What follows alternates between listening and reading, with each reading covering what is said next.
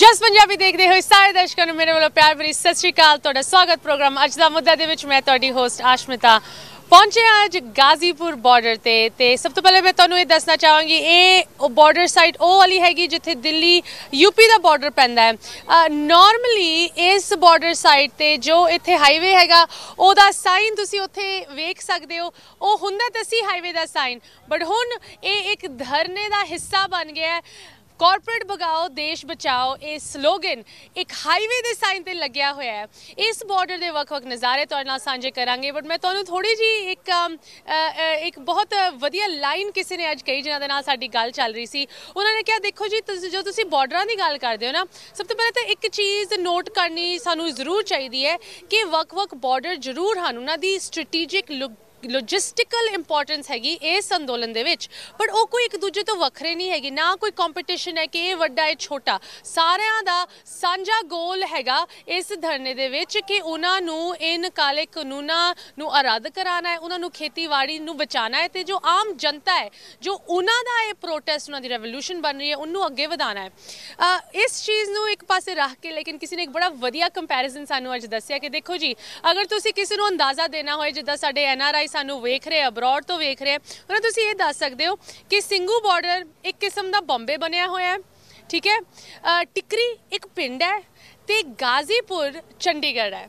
ਸੋ ਚੰਡੀਗੜ੍ਹ ਤਾਂ ਸਾਡੇ ਬਹੁਤ ਦਿਲ ਦੇ ਕਰੀਬ ਹੈ, ਸਾਡਾ ਵੀ ਸਟੂਡੀਓ ਚੰਡੀਗੜ੍ਹ ਪੈਂਦਾ ਹੈ। ਸੋ ਮੈਂ ਤੁਹਾਨੂੰ ਇਹ ਜ਼ਰੂਰ ਦੱਸ ਸਕਦੀ ਹਾਂ ਕਿ ਇੱਥੇ ਮਾਹੌਲ ਬਿਲਕੁਲ ਉਹੋ ਜਿਹਾ ਹੀ ਹੈ। ਸਾਫ਼ ਸਫ਼ਾਈ ਡਿਸਪਲਿਨ ਆਰਡਰ ਇੱਥੇ ਦੇ ਜੋ ਮੈਨੇਜਮੈਂਟ ਤੁਸੀਂ ਕਹਿ ਲਓ, ਖਾਸ ਕਰਕੇ ਯੂਥ ਵੱਲੋਂ ਜੋ ਇਸ ਜਗ੍ਹਾ ਨੂੰ ਆਰਗੇਨਾਈਜ਼ ਰੱਖਦੇ ਆ, ਉਹਨਾਂ ਦੇ ਨਾਲ ਵੀ ਤੁਹਾਡੀ ਗੱਲ ਕਰਾਵਾਂਗੇ। ਕਿਸ ਤਰ੍ਹਾਂ ਉਹ ਇਸ ਜਗ੍ਹਾ ਨੂੰ ਬਿਲਕੁਲ ਅੰਡਰ ਕੰਟਰੋਲ ਮੈਂ ਤੁਹਾਨੂੰ ਦੱਸ ਸਕਦੀ ਹਾਂ ਕਿ ਰਾਤ ਨੂੰ ਇੱਥੇ ਕੋਈ 뮤직 ਨਹੀਂ ਚੱਲਦਾ, ਕੋਈ ਟਰੈਕਟਰ ਨਹੀਂ ਚੱਲਦੇ। ਇਸ ਤਰ੍ਹਾਂ ਦਾ ਡਿਸਪਲਿਨ ਇੱਥੇ ਰੱਖਿਆ ਹੋਇਆ ਬਿਲਕੁਲ ਸਿਕਿਉਰਿਟੀ ਪ੍ਰਬੰਧ, ਸਾਫ਼ ਸਫ਼ਾਈ, ਸਭ ਕੁਝ ਇੱਥੇ ਰੱਖਿਆ ਹੋਇਆ ਕਿਸ ਤਰ੍ਹਾਂ ਇੱਥੇ ਸਾਡੀ ਮਹਿਲਾਵਾਂ, ਸਾਡੀ ਮਾਵਾਂ ਧੀਆਂ ਜੋ ਸਾਡੇ ਬਜ਼ੁਰਗ, ਬੀਬੀਆਂ ਹਨ, ਉਹਨਾਂ ਲਈ ਕੀ ਸਹੂਲਤ ਇੱਥੇ ਪ੍ਰੋਵਾਈਡ ਹੋ ਰਹੀ ਹੈ ਇਹ ਵੀ ਤੁਹਾਡੇ ਨਾਲ ਸਾਂਝੀ ਕਰਾਂਗੇ। ਬਟ ਮੋਸਟ ਇੰਪੋਰਟੈਂਟਲੀ ਇਸ ਅੰਦੋਲਨ ਤੋਂ ਬਾਅਦ ਕਿਸ ਤਰ੍ਹਾਂ ਦੇ ਖਿਆਲਾਤ ਇੱਥੇ ਦੀ ਆਮ ਜਨਤਾ ਨੂੰ ਅਪਣਾਣੇ ਚਾਹੀਦੇ ਹੈ ਕਿਸ ਤਰ੍ਹਾਂ ਦੀ ਜਾਗਰੂਕਤਾ ਹੁਣ ਉਹਨਾਂ ਦੇ ਵਿੱਚ ਆਈ ਹੋਈ ਹੈ? ਐਂਡ ਕੀ ਫਿਊਚਰ ਹੈ? ਖਾਸ ਕਰਕੇ ਜਦੋਂ ਯੂਥ ਦੀ ਗੱਲ ਆਉਂਦੀ ਹੈ, ਜੋ ਆਉਣ ਵਾਲੇ ਸਮੇਂ ਦੇ ਵਿੱਚ ਜੋ ਇੱਕ ਇਨਕਲਾਬ ਦੀ ਲਹਿਰ ਸ਼ੁਰੂ ਹੋਈ ਹੈ, ਉਸ ਨੂੰ ਲੈ ਕੇ ਯੂਥ ਕਿਸ ਤਰ੍ਹਾਂ ਇਹਨੂੰ ਅੱਗੇ ਵਧਾਊਗਾ? ਇਹ ਸਾਰੀ ਚੀਜ਼ਾਂ ਦੀ ਗੱਲ ਕਰਾਂਗੇ। ਇੱਥੇ ਇੱਕ ਛੋਟੀ ਜਿਹੀ ਬ੍ਰੇਕ ਲਈ ਰੁਕਦੇ ਤੁਸੀਂ ਕਿਤੇ ਨਾ ਜਾਓ, ਮਿਲਦੇ ਹਾਂ ਬ੍ਰੇਕ ਤੋਂ ਉਸ ਬਾਅਦ। ਬ੍ਰੇਕ ਤੋਂ ਬਾਅਦ ਸਾਰਿਆਂ ਦਾ ਸਵਾਗਤ। ਤੁਸੀਂ ਵੇਖ ਰਹੇ ਹੋ ਪ੍ਰੋਗਰਾਮ ਅੱਜ ਦਾ ਮੁੱਦਾ। ਤੁਹਾਡੇ ਨਾਲ ਪਹੁੰਚੇ ਗਾਜ਼ੀਪੁਰ ਬਾਰਡਰ ਤੇ। ਮੈਨੂੰ ਬਹੁਤ ਖੁਸ਼ੀ ਹੋ ਰਹੀ ਹੈ ਜਿੱਥੇ ਕੁਰਬਾਨੀ ਦੀ ਗੱਲ ਆਂਦੀ ਹੈ। ਖਾਸ ਕਰਕੇ ਸਾਡੇ ਨੌਜਵਾਨ ਕਿਸ ਤਰ੍ਹਾਂ ਦੀ ਕੁਰਬਾਨੀ ਆਪਣਾ ਹਿੱਸਾ ਪਾ ਰਹੇ ਇਸ ਅੰਦੋਲਨ ਦੇ ਵਿੱਚ ਉਹਦੀ ਗੱਲ ਥੋੜੀ ਜਿਹੀ ਤੁਹਾਡੇ ਨਾਲ ਸਾਂਝੀ ਕਰ ਰਹੇ ਮੇਰੇ ਨਾਲ ਜੁੜੇ ਹਨ ਰਵਨੀਤ ਕੌਰ ਜੀ ਜੋ ਕਿ ਬੈਂਗਲੌਰ ਤੋਂ ਆਏ ਹਨ। ਰਵਨੀਤ ਕੌਰ ਜੀ ਸਭ ਤੋਂ ਪਹਿਲੇ ਤੁਹਾਨੂੰ ਲਗਭਗ ਮਹੀਨਾ ਹੋ ਗਿਆ ਇਸ ਧਰਨੇ ਦੇ ਵਿੱਚ। ਤੁਸੀਂ ਗਾਜ਼ੀਪੁਰ ਹੀ ਹੈਗੇ। ਮੈਂ ਚਾਹਾਂਗੀ ਤੁਸੀਂ ਸਾਡੇ ਵਿਊਅਰਸ ਨੂੰ ਦੱਸੋ ਤੁਸੀਂ ਕੀ ਛੱਡ ਕੇ ਆਏ ਹੋ ਪਿੱਛੋਂ? ਦੇਖੋ ਮੈਂ ਲਾਅ ਦੀ ਸਟੂਡੈਂਟ ਆ ਤੇ ਅਹ, ਜਿਹੜਾ ਮੇਰਾ ਪਿਛਲਾ ਸੈਮ ਹੀ ਤੇ ਆ ਵਾਲਾ ਸੈਮ, ਉਹ ਦੋਵੇਂ ਆਨਲਾਈਨ ਹੋਏ ਤੇ ਉਹਦੇ ਐਗਜ਼ਾਮ ਹੁਣ 7th ਫੈਬ ਤੋਂ ਸ਼ੁਰੂ ਹੋਣ ਵਾਲੇ ਨੇ। ਤੇ ਮੈਂ ਸਟਿਲ ਇੱਥੇ ਆ, ਮੇਰਾ ਦਿਮਾਗ ਇੱਥੇ ਆ, ਮੇਰੀ ਬਾਡੀ ਇੱਥੇ ਆ। ਤੇ ਹੁਣ ਘਰੋਂ ਵੀ ਸੁਣਨ ਨੂੰ ਮਿਲਣ ਡਿਆ ਕਿ ਤੂੰ ਪੜ੍ਹਾਈ ਕੰਪਰੋਮਾਈਜ਼ ਕਰ ਰਹੀ, ਬਾਕੀ ਹਰ ਜਗ੍ਹਾ ਤੋਂ। ਪਰ ਮੈਨੂੰ ਲੱਗਦਾ ਜੇ ਮੈਂ ਇੱਥੋਂ ਛੱਡ ਕੇ ਤੁਰ ਗਈ ਤੇ ਉਹ ਜ਼ਿਆਦਾ ਮੇਰਾ ਨੁਕਸਾਨ ਹੋਏਗਾ। ਰਵਨੀਤ ਜੀ, ਤੁਸੀਂ ਕਿਸ ਤਰ੍ਹਾਂ ਦਾ ਰੋਲ ਇਸ ਅੰਦੋਲਨ ਦੇ ਵਿੱਚ ਅਪਣਾਇਆ ਹੈ? ਬਿਕੋਜ਼ ਸਾਨੂੰ ਕਿਸੇ ਨੇ ਉਹਨੇ ਕਿਹਾ ਸੀ she is the female she is the woman in charge here so ਮੈਂ ਚਾਹਾਂਗੀ ਉਹਦੇ ਬਾਰੇ ਦੱਸੋ, ਤੁਹਾਡੇ ਕੀ ਮਤਲਬ ਡੇ ਟੂ ਡੇ ਡਿਊਟੀਆਂ ਇਨਕੰਪਸ ਕਰਦੀਆਂ ਦੇਖੋ ਸਟਾਰਟਿੰਗ 'ਚ ਜਦੋਂ ਮੈਂ ਆਈ ਸੀ ਤੇ ਮੈਂ ਸੋਚਿਆ ਨਹੀਂ ਸੀ ਕਿ ਇੰਨੀ ਸੇਵਾ ਕਰਾਂ, ਮੈਨੂੰ ਮਿਲੇਗੀ। ਕਿਉਂਕਿ ਸੇਵਾ ਲਈ ਨਹੀਂ ਜਾਂਦੀ, ਸੇਵਾ ਰੱਬ ਆਪਣੇ ਆਪ ਦਿੰਦਾ ਹੈ। ਤੇ ਜਦੋਂ ਮੈਂ ਪਹਿਲੇ ਦਿਨ ਆਈ ਤੇ ਮੈਂ ਸੋਚਿਆ, ਠੀਕ ਹੈ, ਆਪਣਾ ਬੀਬੀਆਂ ਨਾਲ ਰੋਟੀ ਦੀ ਸੇਵਾ ਕਰਾਂਗੇ ਤੇ ਦੈਟਸ ਇਟ ਪਰ ਉਹਦੇ ਬਾਅਦ ਚੋਂ ਕੀ ਆਂਦੇ ਜਿਹੜਾ ਆਪਣਾ ਫੀਮੇਲ ਜਿਸ ਤਰੀਕੇ ਨਾਲ ਰਹਿ ਰਹੀ ਸੀਗੀਆਂ ਤੇ ਕਮੇਟੀ ਨੇ ਵੀ ਮੈਨੂੰ ਦੱਸਿਆ ਕਿ ਤੁਸੀਂ ਇਹਨੂੰ ਅੱਗੇ ਲਓ, ਤੁਸੀਂ ਇੰਚਾਰਜ ਬਣੋ ਤੇ ਇਹਨੂੰ ਆਪਣਾ ਇੱਕ ਰੂਪ ਦਿਓ। ਤੇ ਅਸੀਂ ਫਿਰ ਫੀਮੇਲ ਬਲਾਕ ਜਿਹੜੇ ਵੋਲੰਟੀਅਰ ਸਾਡੇ ਵੀਰ ਹੈਗੇ, ਉਹਨਾਂ ਦੀ ਹੈਲਪ ਨਾਲ ਬਣਾਇਆ। ਫਿਰ ਅਸੀਂ ਇੱਕ ਫੀਮੇਲ ਸਟੋਰ ਐਕਸਕਲੂਸਿਵ ਬਣਾਇਆ। ਫਿਰ ਉਹਦੇ ਬਾਅਦ ਚੋਂ ਆ ਬਣਦਾ ਗਿਆ ਬਣਦਾ ਗਿਆ ਤੇ ਉਹ ਆਪਣੇ ਆਪ ਚ ਬਹੁਤ ਹੀ ਪਿਆਰਾ ਸਟਰਕਚਰ ਬਣ ਗਿਆ ਤੇ ਉਹਨੂੰ ਦੇਖ ਕੇ ਫਿਰ ਟਿਕਰੀ ਬਾਰਡਰ ਤੇ ਵੀ ਬਣਾਇਆ ਗਿਆ ਫੀਮੇਲ ਵਾਰਡ ਤੇ ਉਹਦੇ ਬਾਅਦ ਚੋਂ ਉਹ ਜਿਹੜੇ ਟੈਂਟ ਹੀ ਇੰਨੇ ਜ਼ਿਆਦਾ ਮੰਗਾਏ ਗਏ ਆਪਣੇ ਕਪੂਰਥਲੇ ਵਾਲੇ ਵੀਰ ਜੀ ਨੇ ਇੰਨੀ ਜ਼ਿਆਦਾ ਸੇਵਾ ਕੀਤੀ ਤੇ ਉਹ ਇੱਥੇ ਹੁਣ ਬਾਕੀ ਟੈਂਟ ਦੇਖੋ ਤੇ ਉਹੀ ਟੈਂਟ ਲੱਗੇ ਹੋਏ ਨੇ ਕਿਉਂਕਿ ਬਾਂਸ ਵਾਲੇ ਟੈਂਟ ਜ਼ਿਆਦਾ ਸਾਨੂੰ ਕੋਸਟਲੀ ਪੈ ਰਹੇ ਸੀ ਤੇ ਆਹ ਵਾਲੇ ਟੈਂਟ ਦੀ ਸੇਵਾ ਫਿਰ ਸ਼ੁਰੂ ਹੋ ਗਈ ਆ ਈਜ਼ੀ ਟੂ ਮੈਨੇਜ ਨੇ ਆ ਸਭ ਕੁਝ ਤੇ ਉਹਦੇ ਬਾਅਦ ਚ ਫਿਰ ਰੋਲ ਵੱਧਦਾ ਗਿਆ। ਜਿਵੇਂ ਸਾਂਝੀ ਸੱਥ ਦਾ ਰੋਲ ਆ ਗਿਆ। ਫਿਰ ਸਾਂਝੀ ਸੱਥ ਬਣਾਉਣੀ ਸੀ ਕਿਉਂਕਿ ਲੋਕਾਂ ਨੂੰ ਇੱਕ ਯੂਥ ਦੀ એનર્ਜੀ ਚੈਨਲਾਈਜ਼ ਕਰਨੀ ਸੀਗੀ। ਉਹ ਯੂਥ ਦੀ એનર્ਜੀ ਚੈਨਲਾਈਜ਼ ਕਰਨ ਵਾਸਤੇ ਬੁੱਕਸ ਪ੍ਰੋਵਾਈਡ ਕੀਤੀਆਂ ਗਿਆ ਵਾਈਫਾਈ ਜਿਵੇਂ ਹੁਣੇ ਵੀ ਬੱਚੇ ਆਪਣੀ ਆਨਲਾਈਨ ਕਲਾਸਿਸ ਲੈ ਰਹੇ ਤੇ ਹੋਮਵਰਕ ਕਰ ਰਹੇ ਨੇ। ਫਿਰ ਅਸੀਂ ਸੋਚਿਆ ਕਿ ਉਹ ਲੋਕਾਂ ਦਾ ਕੀ, ਜਿਹੜੇ ਪੜ੍ਹ ਲਿਖ ਨਹੀਂ ਸਕਦੇ ਹੈਗੇ। ਫਿਰ ਅਸੀਂ ਉਹਨਾਂ ਵਾਸਤੇ ਪ੍ਰੋਜੈਕਟਰ ਲਾਇਆ ਤੇ ਜਿਵੇਂ ਜਿਸ ਦਿਨ ਮੀਟਿੰਗ ਹੁੰਦੀ ਆ, ਉਹ ਮੀਟਿੰਗ ਉੱਥੇ ਸ਼ੋਅ ਕਰੀਦੀ ਕਿ ਨਿਊਜ਼ 'ਚ ਕੀ ਹੋਇਆ ਤਾਂ ਕਿ ਉਹ ਲੋਕੀ ਅਪਡੇਟਡ ਰਹਿਣ। ਤੇ ਫਿਰ ਸ਼ਾਮ ਨੂੰ 7 ਤੋਂ 9 ਜਿਹੜਾ ਹੈਗਾ, ਆਪਾਂ ਮੂਵੀਜ਼ ਚਲਾਈ ਦੀਆਂ ਨੇ ਜਿਹ 'ਚ ਇਤਿਹਾਸਿਕ ਮੂਵੀਜ਼ ਹੋ ਗਈ ਜਾਂ ਫਿਰ ਦੇਸ਼ ਭਗਤੀ ਵਾਲੀ ਮੂਵੀ ਹੋ ਗਈ, ਜਿਵੇਂ ਆਪਣਾ Nanak Shah Fakir the legend of Bhagat Singh ਤੇ ਆ ਸਾਰੀ ਮੂਵੀਜ਼ ਜਿਹੜੀ ਹੈਗੀਆਂ ਨੇ ਉਹ ਸਾਰੀ ਅਸੀਂ ਚਲਾਈਆਂ ਉੱਤੇ ਬੰਦਾ ਸਿੰਘ ਬਹਾਦਰ ਹੋ ਗਈ ਤੇ ਆ ਸਾਰੀ ਮੂਵੀਜ਼ ਅਸੀਂ ਉੱਤੇ ਚਲਾਈਆਂ ਤੇ ਲੋਕੀ ਇੱਕ ਹੈਗੇ ਉਹਦੇ ਨਾਲ ਕਮਿਊਨਿਟੀ ਫੀਲਿੰਗ ਉਹਨਾਂ ਨੇ ਡਿਵੈਲਪ ਕੀਤੀ ਉਹ ਸਾਰੇ ਇਕੱਠੇ ਹੋ ਕੇ ਵੇਟ ਕਰਦੇ ਤੇ ਅੱਜ ਕੱਲ ਹੁਣ ਜਿਵੇਂ ਲਾਈਟ ਦਾ ਇਸ਼ੂਸ ਹੋ ਜਾਂਦਾ ਕਦੀ ਕਦੀ ਅਗਰ ਨਹੀਂ ਚੱਲਦੀ ਲੋਕੀ 7 ਵਜੇ ਆ ਕੇ ਪੁੱਛਣਾ ਸ਼ੁਰੂ ਹੋਣ ਅੱਜ ਕਿਹੜੀ ਪਿਕਚਰ ਚੱਲੇਗੀ ਅੱਜ ਅਜੇ ਤੱਕ ਚੱਲੀ ਨਹੀਂ ਕਦੋਂ ਚੱਲੇਗੀ ਤੇ ਉਹ ਬਹੁਤ ਹੀ ਜ਼ਿਆਦਾ ਜਿਹੜਾ ਹੈਗਾ ਬਹੁਤ ਹੀ ਪਿਆਰਾ ਇੱਥੇ ਇੱਕ ਕਮਿਊਨਿਟੀ ਬਣ ਗਈ ਆ। ਅ, ਰਵਨੀਤ ਜੀ ਤੁਹਾਡੇ ਮਤਲਬ ਜਿਸ ਤਰ੍ਹਾਂ ਤੁਸੀਂ ਆਰਗੇਨਾਈਜ਼ ਹੋਏ ਹੋ ਇੱਥੇ ਰਾਈਟ ਇਹ ਇੱਕ ਕਿਸਮ ਦੀ ਤੁਸੀਂ ਕਮਿਊਨਿਟੀ ਕਿਹਾ but this is a social experiment right ਆਮ ਇਸ ਅੰਦੋਲਨ ਦੇ ਵਿੱਚ ਸਾਨੂੰ ਬਾਰ-ਬਾਰ ਇਹ ਵੇਖਣ ਨੂੰ ਮਿਲ ਰਿਹਾ, ਖਾਸ ਕਰਕੇ ਸਾਡੇ ਯੂਥ ਸਾਡੇ ਨੌਜਵਾਨ ਉਹ ਇੱਕ ਇਹੋ ਜਿਹਾ ਸੋਸ਼ਲ ਸਟਰਕਚਰ ਬਣਾ ਰਹੇ ਹੈ ਜੋ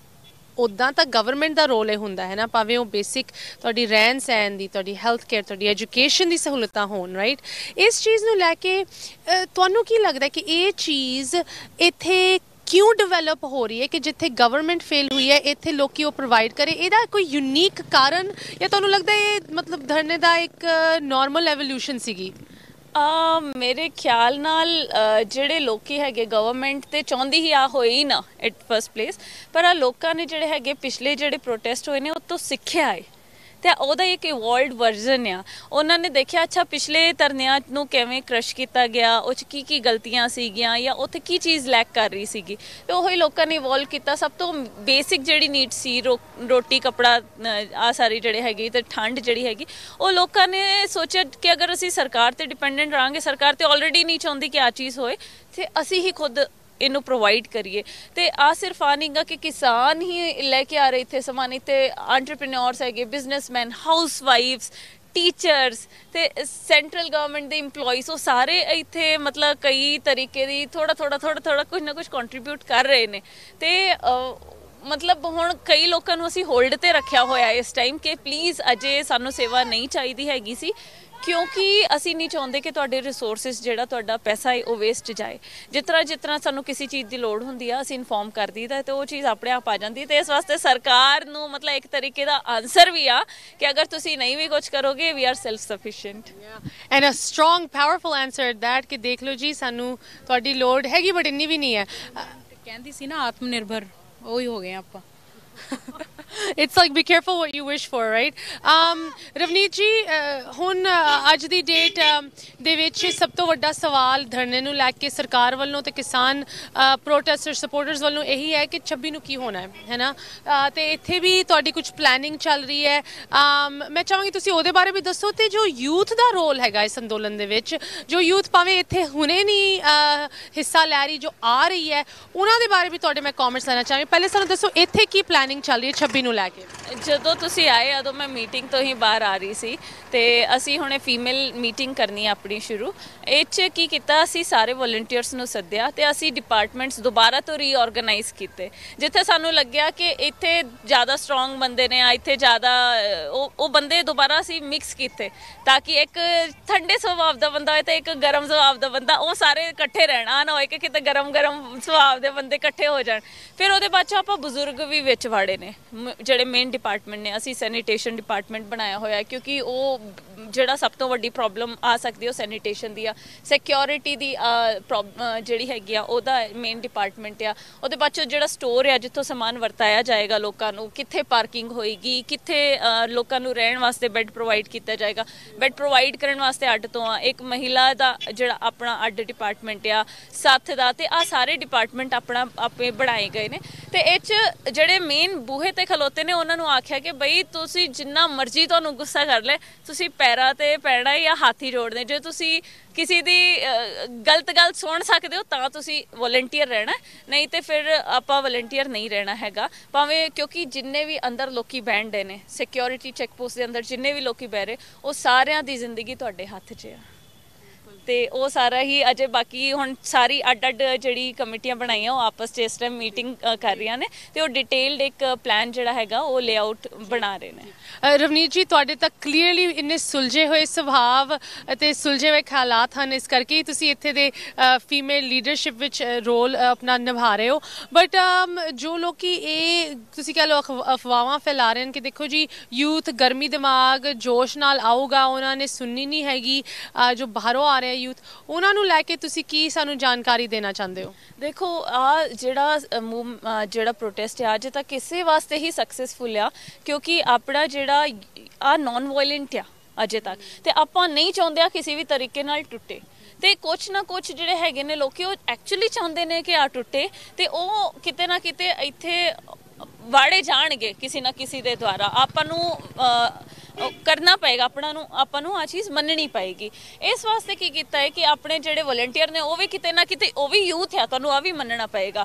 ਕੋਈ ਤੁਹਾਨੂੰ ਚਾਰ ਗਾਲਾਂ ਸੁਣਾ ਰਿਹਾ ਤੇ ਤੁਸੀਂ ਆ ਨਹੀਂ ਹੈਗਾ ਕਿ ਤੁਸੀਂ ਉਹਨੂੰ ਜਰ ਲਓਗੇ ਅਗਰ ਹੋਰ ਕੋਈ ਜਗ੍ਹਾ ਹੁੰਦੀ। ਪਰ ਇੱਥੇ ਆ ਚੀਜ਼ ਵੇਖਣ ਵਾਲੀ ਆ ਤੇ ਹੈਡਸ ਆਫ ਟੂ ਵਲੰਟੀਅਰਸ ਜਿਹੜੇ ਆ ਰੋਜ਼ ਇਸ ਪ੍ਰੋਸੈਸ ਥਰੂ ਜਾਂਦੇ ਨੇ। ਇਸ ਵਾਸਤੇ ਜਿਹੜੇ ਨਵੇਂ ਲੋਕੀ ਆ ਰਹੇ ਨੇ, ਜਿਵੇਂ ਨਵੇਂ ਵੋਲੰਟੀਅਰਸ ਆ ਰਹੇ ਨੇ, ਅਸੀਂ ਉਹਨਾਂ ਨੂੰ ਅਜੇ ਥੋੜਾ ਜਿਹਾ ਆਪਾਂ ਉਹਨਾਂ ਨੂੰ ਮੈਂਬਰ ਬਣਾਇਆ ਗਿਆ ਤੇ ਜਿਹੜੇ ਪਿਛਲੇ 1-1 ਮਹੀਨੇ ਤੋਂ ਨੇ ਉਹਨਾਂ ਨੂੰ ਆਪਾਂ ਥੋੜਾ ਜਿਹਾ ਇੰਚਾਰਜ ਦੀ ਪੋਸਟ ਤੇ ਦਿੱਤੀ ਆ ਤਾਂ ਕਿ ਉਹਨਾਂ ਨੂੰ ਕਿਉਂਕਿ ਜਿਹੜੇ ਇੱਥੇ ਪਹਿਲਾਂ ਤੋਂ ਰਹਿ ਰਹੇ ਉਹਨਾਂ ਨੂੰ ਪਤਾ ਹੈ ਕਿ ਕਿਹੜੇ ਬੰਦੇ ਨਾਲ ਕਿਵੇਂ ਡੀਲ ਕਰਨਾ ਹੈ ਕਿਹੜਾ ਬੰਦਾ ਕਿਹੜੇ ਸੁਭਾਅ ਦਾ ਹੈ ਤੇ ਉਸ ਤਰੀਕੇ ਨਾਲ ਸਭ ਕੁਝ ਡਿਵਾਈਡ ਕੀਤਾ ਗਿਆ ਤੇ ਜਿਹੜੇ ਨਵੇਂ ਲੋਕੀ ਆਉਣਗੇ ਉਹਨਾਂ ਨੂੰ ਅਜੇ ਹੌਲੀ ਹੌਲੀ ਹੌਲੀ ਹੌਲੀ ਟਾਈਮ ਲੱਗੇਗਾ ਇਹ ਚੀਜ਼ ਸਮਝਣ ਲਈ ਤੇ ਆਪਾਂ ਨਹੀਂ ਚਾਹੁੰਦੇ ਹੈਗੇ ਕਿ ਆ ਮੂਵਮੈਂਟ ਕਿਸੇ ਵੀ ਤਰੀਕੇ ਨਾਲ ਫੇਲ ਹੋਏ। ਕੋਈ ਤੁਹਾਡੀ ਕਨਸਰਨਸ ਕੋਈ ਤੁਹਾਨੂੰ ਕਿਸੇ ਵੀ ਚੀਜ਼ ਦੀ ਚਿੰਤਾ ਹੈਗੀ 26 ਨੂੰ ਲੈ ਕੇ?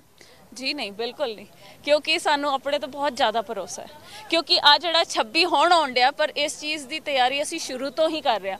ਪਿਛਲੇ ਅਸੀਂ 1 ਮਹੀਨੇ 2 ਮਹੀਨੇ ਤੋਂ ਸਾਰੇ ਜਿਹੜੇ ਸਿੰਘੂ ਬਾਰਡਰ ਤੇ ਵੀ ਨੇ, ਸਾਡੇ ਭੈਣ ਭਰਾ ਇਸੇ ਚੀਜ਼ ਦੀ ਤਿਆਰੀ ਕਰ ਰਹੇ ਨੇ।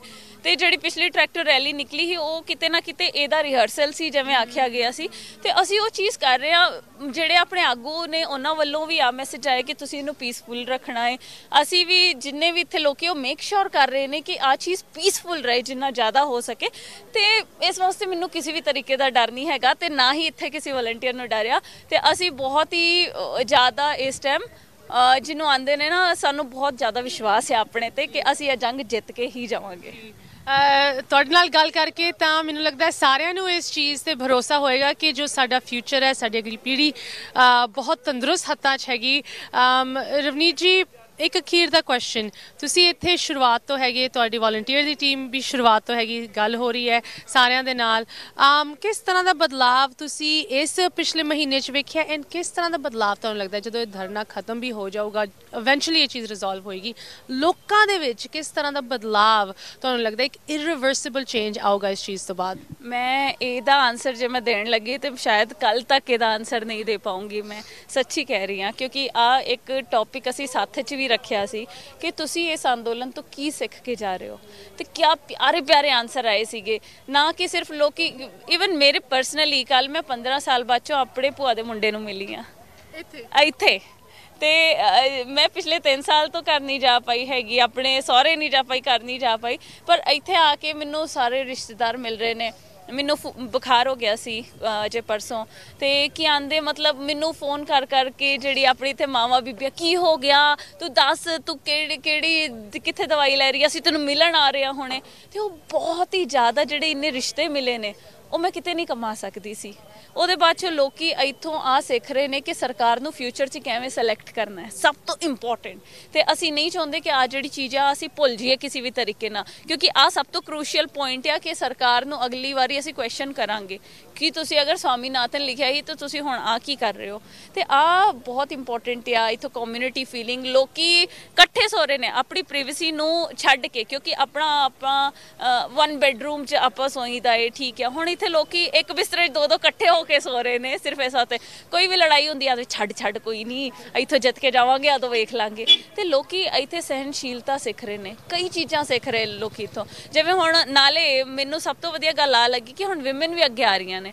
ਜਿਵੇਂ ਹੁਣੇ ਤੱਕ ਬਲਜੀਤ ਆਂਟੀ ਜਿਹੜੇ ਹੈਗੇ ਸੀ, ਉਹ ਵਿਮਨ ਇੰਚਾਰਜ ਸੀਗੇ। ਹੁਣ ਆ ਮੇਰੀ ਭੈਣ ਆਈ ਆ 4 ਦਿਨ ਹੋ ਗਏ ਨਾ ਤੁਹਾਨੂੰ ਇੱਥੇ। 4 ਦਿਨ ਮੇਰੀ ਭੈਣ ਨੂੰ ਇੱਥੇ ਆਏ ਹੋ ਗਏ ਨੇ, ਤੇ ਅੱਜ ਇਹਨਾਂ ਦੀ ਸਿਸਟਰ ਵੀ ਆ ਰਹੇ ਨੇ ਇੱਥੇ। ਠੀਕ ਆ? ਤੇ ਵਿਮਨ ਵੀ ਬਹੁਤ ਅੱਗੇ ਆ ਰਹੇ ਤੇ ਆ ਮੇਰਾ ਭੈਣ ਮਤਲਬ ਜਿਹੜਾ ਹੈਗਾ ਉਹ ਸਾਰਾ ਸਾਰਾ ਕੰਮ ਮੈਂ ਮਿੰਟਾਂ 'ਚ ਕਰਾ ਦਿੰਦੀ ਆ, ਹਨਾ? ਹੁਣ ਮੇਰੀ ਟੈਨਸ਼ਨ ਕਿਤੇ ਨਾ ਕਿਤੇ ਹੋਰ ਘੱਟ ਹੋ ਗਈ ਆ। ਵਿਮਨ ਬਹੁਤ ਅੱਗੇ ਆ ਰਹੀ ਆ ਤੇ ਆ ਸਾਰੀ ਚੀਜ਼ਾਂ ਜਿਹੜੀ ਹੈਗੀਆਂ ਆਪਣੇ ਆਪ 'ਚ ਹੀ ਬਹੁਤ ਹੀ ਨਵਾਂ ਇੰਡੀਆ ਕ੍ਰੀਏਟ ਕਰ ਰਹੇ ਨੇ। ਐਂਡ ਹੋਪ ਤਾਂ ਇਹੀ ਹੈਗੀ ਸਾਡੇ ਸਾਰਿਆਂ ਦੀ ਕਿ ਇੰਡੀਆ ਨਵਾਂ ਕ੍ਰੀਏਟ ਹੋਏ, ਸਹੀ ਪਾਸੇ ਤੁਰੇ।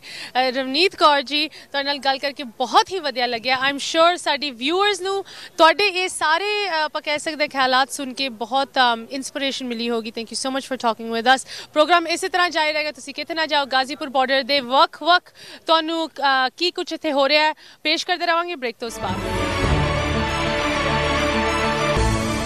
ਗਾਜ਼ੀਪੁਰ ਬਾਰਡਰ ਪਹੁੰਚੇ ਆ ਤੇ ਤੁਹਾਨੂੰ ਇੱਥੇ ਥੋੜੇ ਨਜ਼ਾਰੇ ਦਿਖਾਣੇ ਕਿਸ ਤਰ੍ਹਾਂ ਦਾ ਮਾਹੌਲ ਇੱਥੇ ਬਣਿਆ ਹੋਇਆ ਕੀ ਸਹੂਲਤਾਂ ਇੱਥੇ ਮਿਲ ਰਹੀਆਂ। ਥੋੜੀ ਜੀ ਮੈਂ ਗੱਲ ਕਰਨਾ ਚਾਹੁੰਦੀ ਹਾਂ ਮਹਿਲਾਵਾਂ ਲਈ ਬਿਕੋਜ਼ ਜਿਸ ਗਿਣਤੀ ਦੇ ਵਿੱਚ ਸਾਡੀ ਮਾਵਾਂ ਤੀਵਾਂ ਤੀਆਂ ਅ, ਭੈਣਾਂ ਬੱਚੀਆਂ ਇੱਥੇ ਪਹੁੰਚੀਆਂ ਇਸ ਪੂਰੇ ਅੰਦੋਲਨ ਦੇ ਵਿੱਚ ਉਹ ਹਿੱਸੇਦਾਰ ਹਨ ਕਿ ਇਸ ਅੰਦੋਲਨ ਨੂੰ ਉਹ ਅੱਗੇ ਵਧਾ ਰਹੀਆਂ। ਲੇਕਿਨ ਉਹਨਾਂ ਦੀ ਸਹੂਲਤਾਂ ਉਹਨਾਂ ਨੂੰ ਕਿਸ ਤਰ੍ਹਾਂ ਦੀ ਤੁਸੀਂ ਕਹਿ ਲਓ ਕੰਡੀਸ਼ਨਸ ਤੇ ਪ੍ਰੋਵੀਜ਼ਨਸ ਪ੍ਰੋਵਾਈਡ ਕੀਤੀਆਂ ਜਾ ਰਹੀ ਖਾਸ ਕਰਕੇ ਗਾਜ਼ੀਪੁਰ ਦੇ ਵਿੱਚ ਉਹਦੀ ਮੈਂ ਥੋੜੀ ਜੀ ਤੁਹਾਡੇ ਨਾਲ ਜਾਣਕਾਰੀ ਸ਼ੇਅਰ ਕਰਨਾ ਚਾਹੁੰਦੇ ਤੁਸੀਂ ਦੇਖ ਸਕਦੇ ਹੋ ਸ਼ੀ ਸਟੋਰ ਸੋ ਇਹ ਫੀਮੇਲਸ ਲਈ ਇੱਕ ਬਿਲਕੁਲ ਪ੍ਰੋਪਰ ਸਟੋਰ ਬਣਿਆ ਹੋਇਆ ਹੈ। ਸਟੋਰ ਜ਼ਰੂਰ ਇਹਨੂੰ ਕਿਹਾ ਜਾਂਦਾ ਬਟ ਇੱਥੇ ਕੋਈ, ਤੁਸੀਂ ਕਹਿ ਲਓ ਮੋਨਿਟਰੀ ਐਕਸਚੇਂਜ ਨਹੀਂ ਹੋ ਰਿਹਾ। ਇਹ ਇੱਕ ਸੇਵਾ ਦੇ ਤੌਰ ਤੇ ਇਹ ਪ੍ਰੋਵਾਈਡਡ ਹੈ। ਇਹਦੇ ਵਿੱਚ ਕੀ ਕੁਝ ਫੀਮੇਲਸ ਲਈ ਪ੍ਰੋਵਾਈਡ ਤੁਸੀਂ ਖੁਦ ਵੇਖ ਸਕਦੇ ਹੋ। ਸੈਨੀਟਰੀ ਨੀਡਸ ਹਾਈਜੀਨ ਨੀਡਸ ਤੁਹਾਡੇ ਕੇਸ ਕੰਗੇ ਲਈ ਤੁਹਾਨੂੰ ਵੱਖਰੀ ਚੀਜ਼ਾਂ ਦੀ ਲੋੜ ਹੈਗੀ ਆ। ਈਵਨ ਕੱਪੜਿਆਂ ਲਈ ਯੂ نو ਤੁਹਾਡੇ ਧਾਗੇ ਅੰਡਰਵੇਅਰ ਇਹ ਸਾਰੀ ਚੀਜ਼ਾਂ ਜੋ ਕਦੀ ਕਵਾਰ ਔਰਤਾਂ ਨੂੰ ਸ਼ਰਮ ਵੀ ਮਹਿਸੂਸ ਹੁੰਦੀ ਹੈ ਕਿ ਆਪਾਂ ਕਿੱਥੇ ਜਾ ਕੇ ਕਿੰਨੂੰ ਇਹ ਮੰਗੀਏ।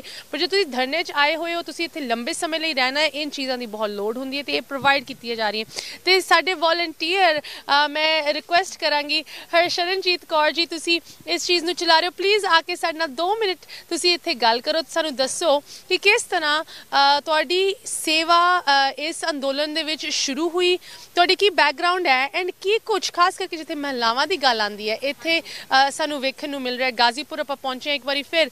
ਹਰਸ਼ਰਨਜੀਤ ਕੌਰ ਜੀ ਸਭ ਤੋਂ ਪਹਿਲੇ ਤੁਹਾਡਾ ਪ੍ਰੋਗਰਾਮ ਦੇ ਵਿੱਚ ਸਵਾਗਤ। ਹਰਸ਼ਰਨਜੀਤ ਕੌਰ ਜੀ ਤੁਸੀਂ ਕਦੋਂ ਇੱਥੇ ਪਹੁੰਚੇ ਸੀ?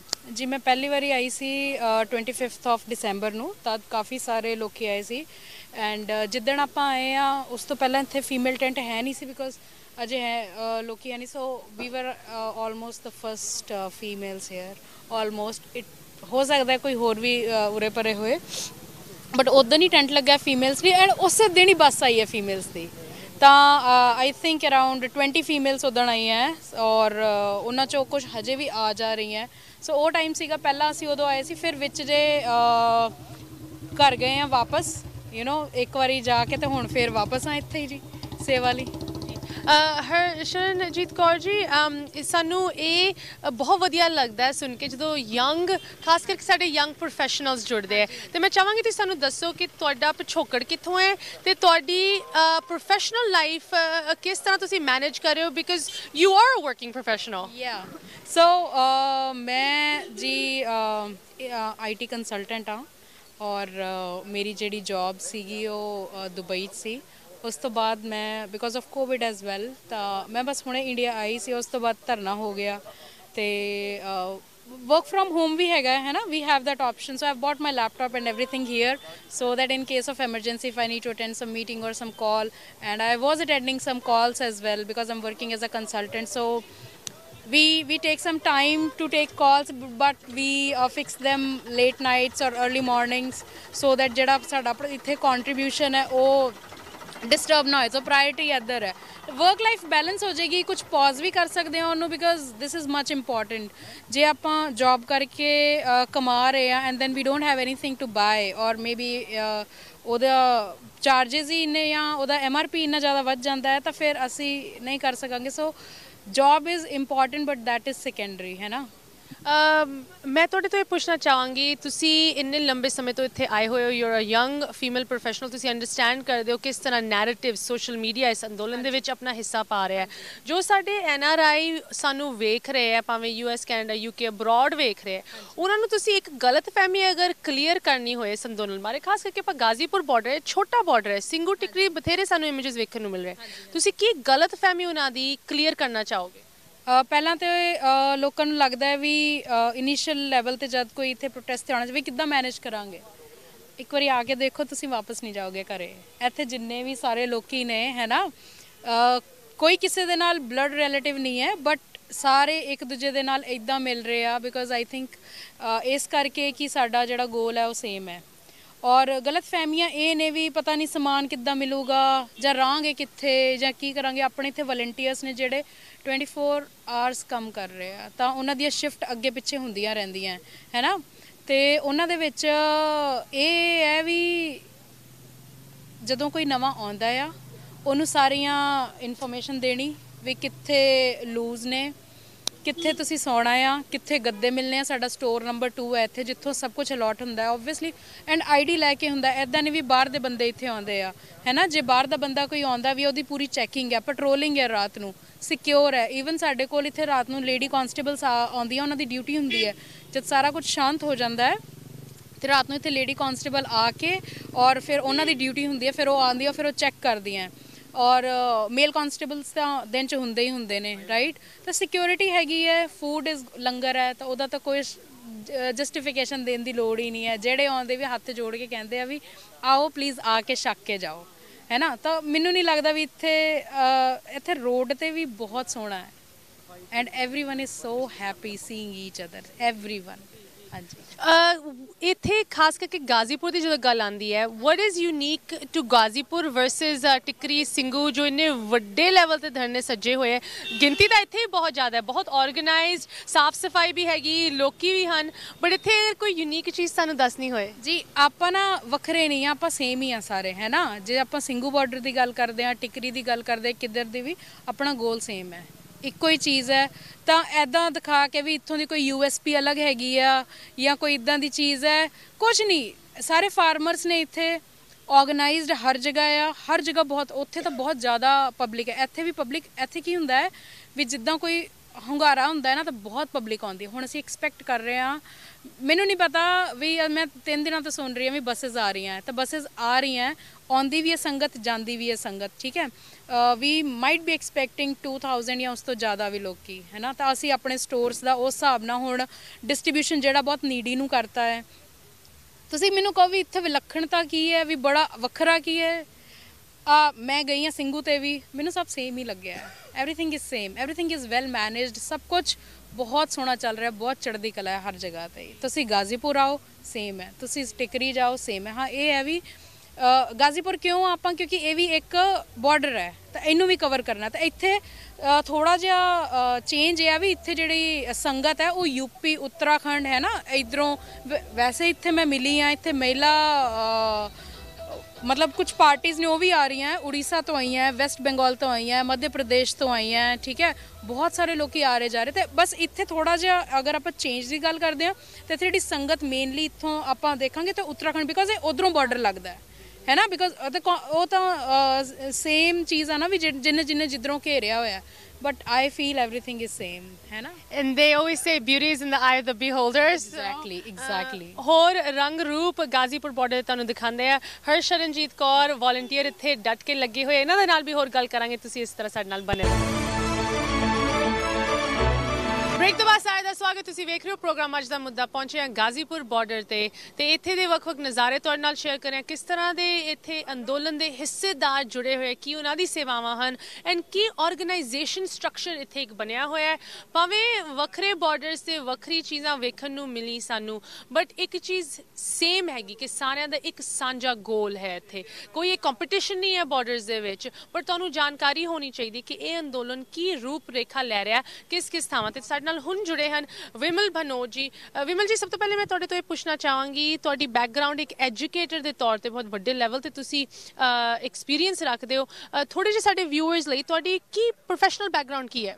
ਮੈਂ ਜੇ 30 ਸਾਲ ਇਲੈਕਟ੍ਰੀਕਲ ਇੰਜੀਨੀਅਰਿੰਗ ਪੜ੍ਹਾਈ 81 ਤੋਂ ਲੈ ਕੇ 2011 ਤੱਕ 21 ਸਾਲ ਪੜ੍ਹਾਈ ਥਾਪਰ ਇੰਜੀਨੀਅਰਿੰਗ ਕਾਲਜ ਪਟਿਆਲਾ, ਫਿਰ 9 ਸਾਲ ਪੜ੍ਹਾਈ ਆਪਣੇ Birla institute of technology science Pilani ਫਿਰ 11 ਦੇ ਵਿੱਚ ਹੀ ਮੈਂ ਆਪਣੇ ਵੱਲੋਂ ਡਿਸਾਈਡ ਕੀਤਾ 55 ਸਾਲ ਦੇ ਵਿੱਚ ਹੀ ਕਿ ਬਸ ਬਹੁਤ ਪੜ੍ਹਾ ਲਿਆ 30 ਸਾਲ, ਹੁਣ ਜਰਾ ਸਮਾਜ 'ਚ ਹੀ ਵਿਚਰੀਏ ਹੈ ਤੇ ਜਿਹੜੀ ਟੈਕਨੋਲੋਜੀ ਸਿੱਖੀ ਤੇ ਖੁਦ ਬੱਚਿਆਂ ਨੂੰ ਸਿਖਾਈ, ਉਹਦਾ ਆਮ ਜਨ ਭਾਰਤੀ ਨੂੰ ਕੁਝ ਲਾਭ ਪਹੁੰਚਿਆ ਕਿ ਨਹੀਂ ਪਹੁੰਚਿਆ, ਉਹ ਫਿਰ ਵਿਚਰ ਕੇ ਦੇਖੀਏ। ਫਿਰ ਇਸ ਤਰ੍ਹਾਂ ਹੀ ਪੋਸਕੋ ਅੰਦੋਲਨ ਚਲੇ ਗਏ, ਕੁਡਨ ਕੋਲੋਂ ਨਿਊਕਲੀਅਰ ਪਲਾਂਟ, ਕਿਤੇ ਝਾਰਖੰਡ ਚ ਮਤਲਬ ਕੋਲ ਮਾਈਨਿੰਗ ਦਾ ਵਿਰੋਧ ਹਾਈਡਰੋ ਪ੍ਰੋਜੈਕਟਾਂ ਦਾ ਵਿਰੋਧ, ਉਹ ਸਾਰਾ ਦੇਖਦੇ ਦੇਖਦੇ 11 12 ਦੇ ਵਿੱਚ ਹੀ ਸਾਡੇ ਸਾਥੀ ਲੋਕਾਇਤ ਵਾਲੇ ਮਿਲੇ, ਆਪਣੇ ਜਿਨ੍ਹਾਂ ਦੇ ਨਾਲ ਦੋਸਤੀ ਹੋ ਗਈ। ਤੇ ਇਹਨਾਂ ਦੇ ਨਾਲ ਫਿਰ ਨਿਰੰਤਰਤਾ ਦੇ ਵਿੱਚ ਹੁਣ ਮਿਲ ਕੇ ਕੰਮ ਕਰਦੇ ਪਏ ਹੈਗੇ। ਅ, ਵਿਮਲ ਜੀ ਤੁਸੀਂ ਇਸ ਧਰਨੇ ਵਿੱਚ ਕਿਉਂ ਆਏ? ਇਸ ਧਰਨੇ ਦੇ ਵਿੱਚ ਕਿਉਂਕਿ ਕਿਸਾਨਾਂ ਦੇ ਮੁੱਦਿਆਂ ਦੇ ਉੱਤੇ ਮੈਨੂੰ ਮੈਂ ਪੀ ਸਾਈਨ ਹਾਜੀ ਦੇ ਆਰਟੀਕਲ ਨਾ ਮਤਲਬ 90 96 ਜਾਂ 7 ਤੋਂ ਹੀ ਜਦ ਤੋਂ ਉਹਨਾਂ ਨੇ ਇਸ਼ੂ ਚੁੱਕਣੇ ਸ਼ੁਰੂ ਕੀਤੇ ਨਾ ਪੜਦਾ ਚਲਾ ਆ ਰਿਹਾ ਸੀਗਾ ਤੇ ਇੱਕ ਮਤਲਬ ਕਾਫੀ ਇੱਕ ਸੈਂਸਿਟੀਵਿਟੀ ਸੀਗੀ ਕਿ ਆਖਿਰ ਉਹ ਕਿਸਾਨ ਜਿਹਨੇ ਸਾਨੂੰ ਪਾਲ ਪੋਸ ਕੇ ਇੰਨਾ ਵੱਡਾ ਕੀਤਾ ਉਹ ਤਾਂ ਉਸੇ ਕਿਸਾਨ ਦਾ ਹੀ ਹਸ਼ਰ ਅਸੀਂ ਆਪਣੀ ਅੱਖਾਂ ਦੇ ਸਾਹਮਣੇ ਦੇਖ- ਦੇਖਾਂਗੇ ਤਾਂ ਇਹ ਤਾਂ ਕਿਸ ਤਰ੍ਹਾਂ ਮਤਲਬ ਕਬੂਲ ਹੋਏਗਾ ਨਾ?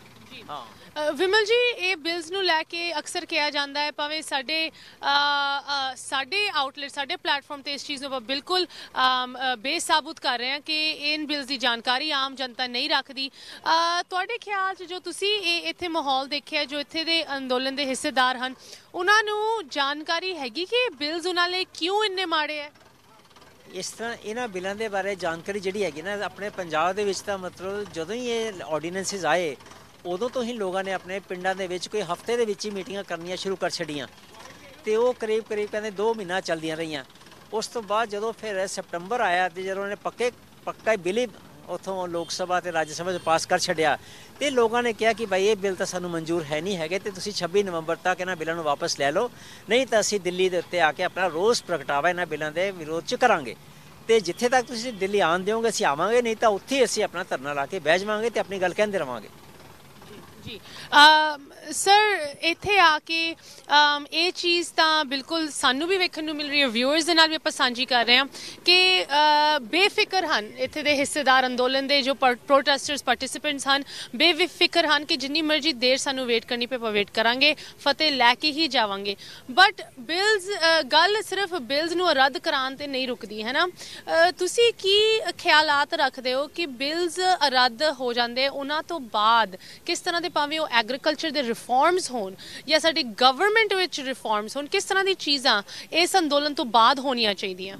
ਦੇਖੋ, ਹਲੇ ਵੀ ਦੇਖੋ, ਦੇਸ਼ ਤੇ ਕੋਈ ਸਿਰਫ 6% ਕਿਸਾਨਾਂ ਨੂੰ ਹੀ ਨਾ ਜਿਹੜੀ ਇੱਕ ਆਪਣਾ ਮਿਨੀਮਮ ਸਪੋਰਟ ਪ੍ਰਾਈਸ ਨਿਊਨਤਮ ਸਮਰਥਨ ਮੁੱਲ ਜਿਹੜਾ ਹੈ, ਮਿਲਦਾ ਪਿਆ ਹੈਗਾ। ਤੇ ਉਹ ਵੀ ਸਿਰਫ ਦੋ ਫਸਲਾਂ ਦਾ ਹੀ, ਚਾਵਲ ਤੇ ਗੇਹੂੰ, ਕਣਕ ਦਾ। ਤੇ ਇਹ ਵੀ ਸਿਰਫ ਪੰਜਾਬ ਤੇ ਹਰਿਆਣਾ ਦੀ ਸਟੇਟ ਦੇ ਵਿੱਚ ਹੀ ਹੈਗਾ। ਤੇ ਹੁਣ ਜਿਹੜੀਆਂ ਬਾਕੀ ਜਿਹੜੀਆਂ 23 ਫਸਲਾਂ ਦੀ ਡਿਮਾਂਡ ਹੈਗੀ ਕਿ ਦੇਸ਼ ਦੀਆਂ ਸਾਰੀਆਂ ਫਸਲਾਂ ਦਾ ਸਮਰਥਨ ਮੁੱਲ ਹੀ ਨਾ ਮਿਲੇ ਸਗੋਂ ਸਰਕਾਰ ਐਸ਼ੋਰਡ ਕਰੇ ਕਿ ਉਹਦੀ ਪ੍ਰੋਕਿਉਰਮੈਂਟ ਵੀ ਕਰੇਗੀ। ਜੇ ਉਹਦਾ ਦਾਮ ਮਤਲਬ ਮਾਰਕੀਟ 'ਚ ਘੱਟ ਮਿਲਦਾ ਹੋਇਆ। ਫਾਰ ਐਗਜ਼ਾਮਪਲ ਜਿਸ ਤਰ੍ਹਾਂ ਇਸ ਸਾਲ ਇਹ ਮੱਧ ਪ੍ਰਦੇਸ਼ ਦੇ ਵਿੱਚ ਮੱਕਾ ਦਾ ਮੁੱਲ ਸੀਗਾ 1850 ਰੁਪਏ। ਲੇਕਿਨ ਕਿਸਾਨਾਂ ਨੂੰ ਕਿਸੇ ਨੂੰ 1000 ਮਿਲਿਆ, ਕਿਸੇ ਨੂੰ 1200 ਮਿਲਿਆ, ਕਿਸੇ ਨੂੰ 800 ਮਿਲਿਆ। ਤਾਂ ਇਹ ਤਾਂ ਮਤਲਬ ਸ਼ਰੇਆਮ ਹੀ ਮਤਲਬ ਕਿਸਾਨਾਂ ਦੇ ਨਾਲ ਧੋਖਾ ਹੈ ਨਾ ਮਤਲਬ।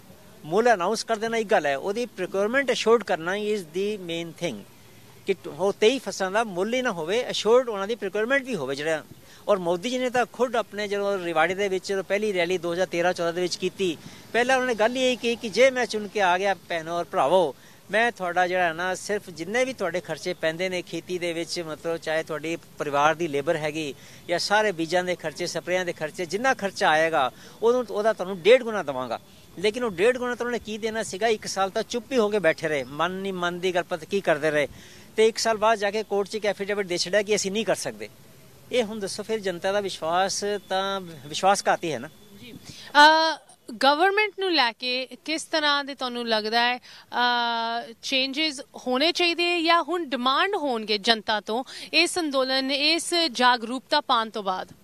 ਇਸ ਜਾਗਰੂਕਤਾ ਵਿੱਚ ਇੱਕ ਜਿਹੜੀ ਸਭ ਤੋਂ ਵੱਡਾ ਜਿਹੜਾ ਮਤਲਬ ਸਾਹਮਣੇ ਸਾਡਾ ਜਿਹੜਾ ਅਸਲੀ ਮਤਲਬ ਕੀ ਕਹਿ ਲੋ ਕਿ ਜਿਹੜਾ ਕਾਰਪੋਰੇਟ ਜਗਤ ਹੈਗਾ ਜਿਹੜਾ ਕਿ ਇਸ ਵੇਲੇ ਪੂਰੀ ਦੁਨੀਆ ਨੂੰ ਚਲਾ ਰਿਹਾ ਹੈਗਾ ਉਹਦਾ ਇੱਕ ਚਿਹਰਾ ਮਤਲਬ ਆਮ ਜਨ ਦੇ ਵਿੱਚ ਵੀ ਮਤਲਬ ਉਭਰਿਆ ਹੈਗਾ, ਜਿਹੜਾ ਕਿ ਹਲੇ ਤੱਕ ਛੁਪਿਆ ਹੋਇਆ ਸੀਗਾ।